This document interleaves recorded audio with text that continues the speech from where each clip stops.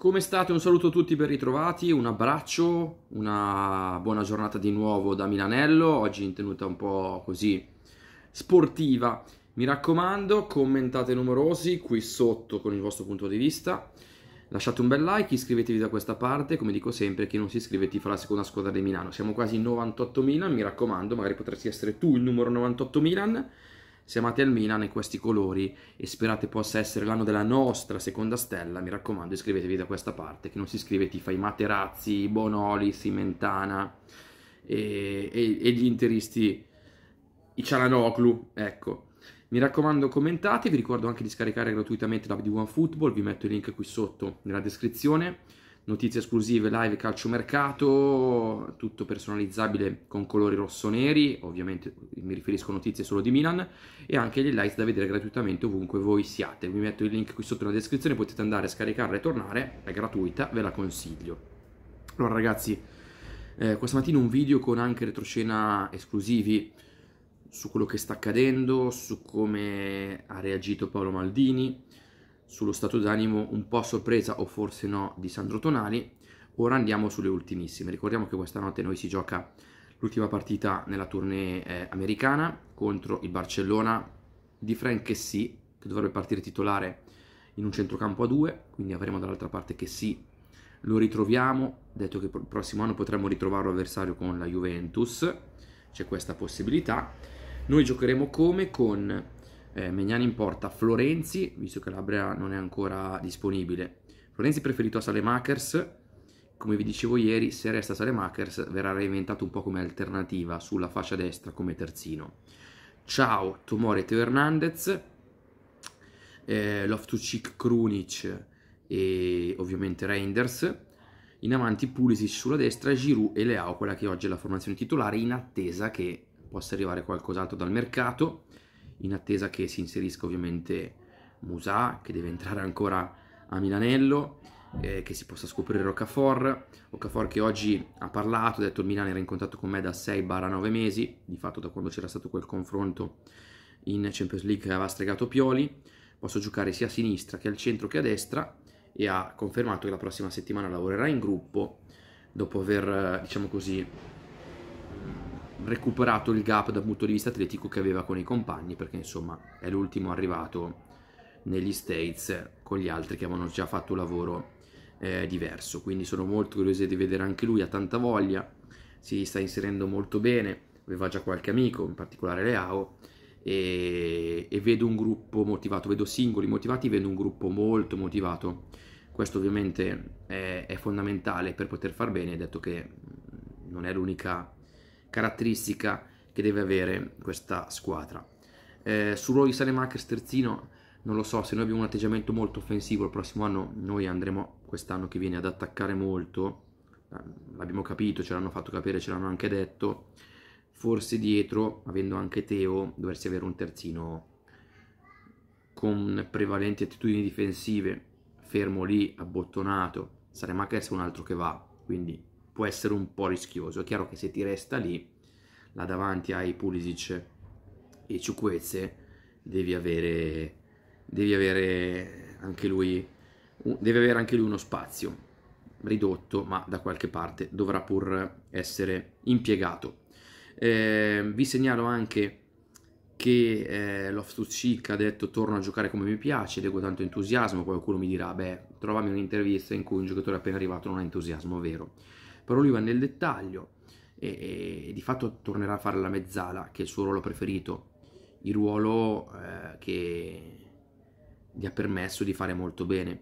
Tra l'altro vi riporto delle confidenze di Sarri, che ne parla un granché bene, lo avrebbe voluto anche la Lazio, poi ha capito che il giocatore era già d'accordo col Milan, la Lazio non ha neanche approfondito. Speriamo che possa fare davvero molto molto bene, ho grande curiosità. Poi eh, capitolo De Ketelare. Su Charles al momento eh, c'è, c'è stato un interessamento ormai di tre settimane fa della Stone Villa che però poi non si è sviluppato in una trattativa al momento.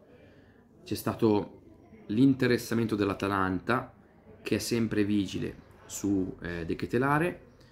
Eh, c'è stato poi anche il PSV che è stato forse il club più interessato De Ketelare, ma De Ketelare ha detto no, io in Olanda non ci voglio andare, quindi al momento tutto abbastanza fermo, anche se Tom De Mul continua ad avere rapporti e contatti pure con l'Ajax. L'ultimo club eh, che eh, ha sondato il terreno per De Ketelare con il suo agente è il Marsiglia, quindi la Ligan club che magari potrebbe, diciamo così, essere di gradimento per De Ketelare con il Milan che però, lo ricordiamo, non vorrebbe darlo in prestito, vorrebbe darlo a titolo definitivo, mantenendo magari una ricompra per un domani. Perché vuole darlo in prestito al Milan? Perché Pioli non punta su di lui. E, e perché, perché, non vuole darlo in prestito? Scusate, perché Pioli non punta su di lui e perché se tu incassi puoi fare un bel puntero là davanti. Io ho la sensazione che molto delle nostre dinamiche di mercato, di questa chiusura di mercato, dipenderà da, anche da De Ketelare se tu lo piazzi è un tesoretto ulteriore, se non lo piazzi ti rimane lì, hai un tesoretto più ridotto. Anche se questa società sta facendo vedere di investire tanto comunque, però ecco, non è che possiamo adesso sballare i conti. Bisogna rimanere sempre, ovviamente, per quello che è la filosofia, il manifesto programmatico di Redbird, con il sentiero tracciato senza andare su eh, strade pericolose. Quindi vediamo, De Ketelare sinceramente per me col Milan ci azzecca poco, non l'ho visto neanche cambiato in queste prime amichevoli, anche se ha giocato pochissimo, e, e un ruolo vero e proprio non c'è in questo Milan se non magari la mezzala da Reinders, perché poi in avanti come esterni siamo stracoperti con specialisti e non giocatori adattati visto che Pioli non vedeva lui l'esterno, sicuramente non gli farà fare l'esterno quest'anno, se resta.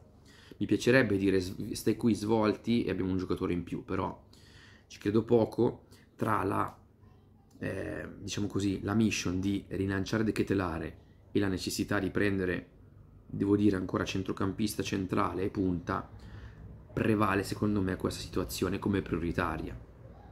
Eh, ecco, perché noi dobbiamo fare ancora sicuramente il centrocampista centrale alternativo a Kronic magari giocherà lì Musa con le due mezze ali per carità però quello secondo me va fatto e Milan lo vuole fare.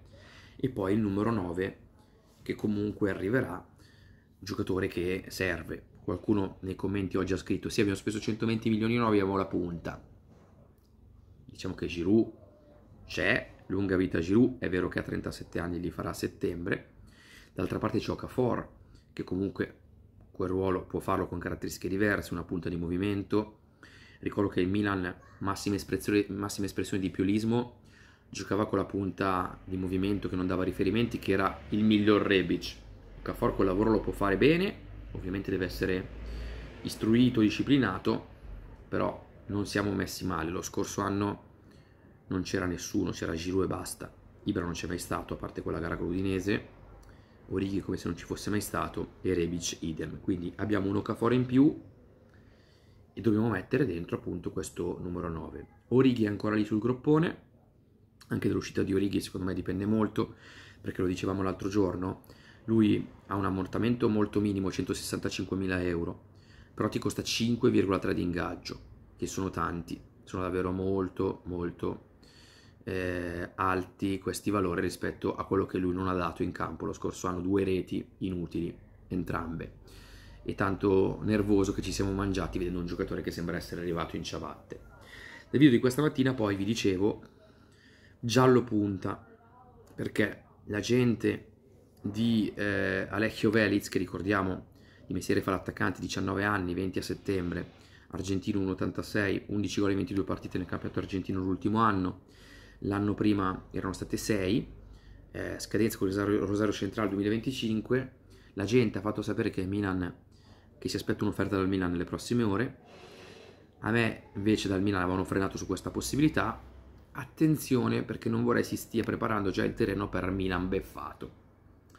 Che è uno degli slogan dell'estate sotto l'ombrellone, no? Gli altri non sono mai beffati, beffato sempre solo il Milan. Se ci fate caso, avete sentito Inter beffata per Koulibaly, per Azpilicueta, eh, per eh, Lukaku, Balogan, addirittura hanno scritto ieri, o Balogan, anzi no, Jonathan David, poi vanno su Scamacca, che a me non dispiace affatto, ecco, per caratteristiche su me può essere funzionale per loro come sarebbe stato funzionale per noi, però non ho letto Inter beffata da nessuna parte, per la solita narrazione, propaganda della quale abbiamo già parlato, e sulla quale si esprimerà anche Leonardo Martinelli nelle prossime ore con un video e una location molto molto bella, perché anche l'occhio vuole la sua parte.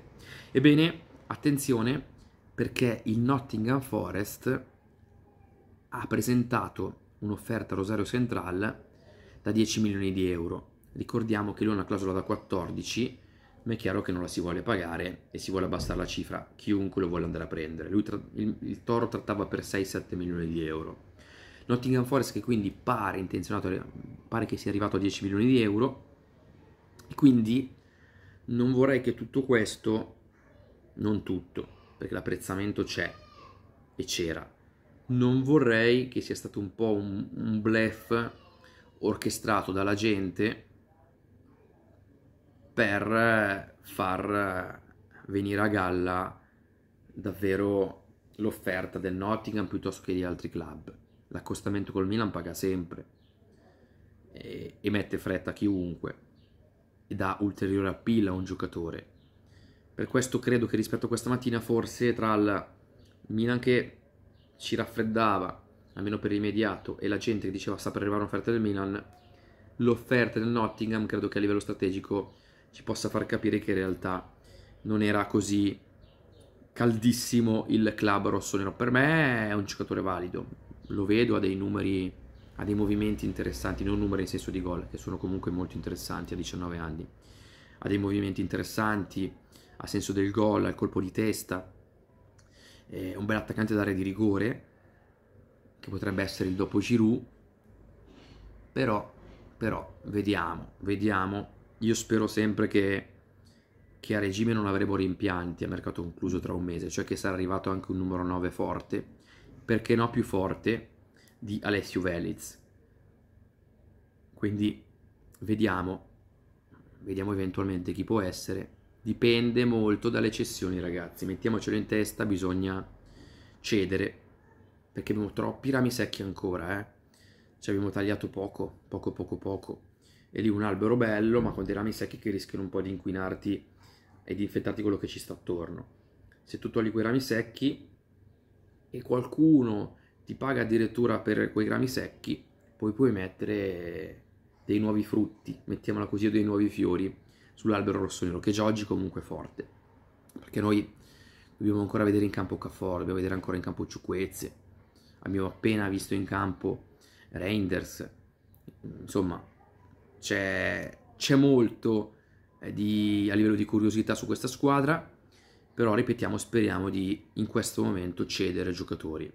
È un mese che sarà rapido, dura sempre un mese, ma sarà rapido dal punto di vista mercato, perché mi aspetto una cosa dietro l'altra, soprattutto con le uscite, bisogna portare le uscite, poi in entrata la seconda metà di agosto secondo me sarà pam pam pam eh, e quindi vediamo un po' le evoluzioni. Per comprare meglio bisogna vendere meglio, ragazzi, sarò noioso su questo aspetto, ma ci tengo a ribadirlo.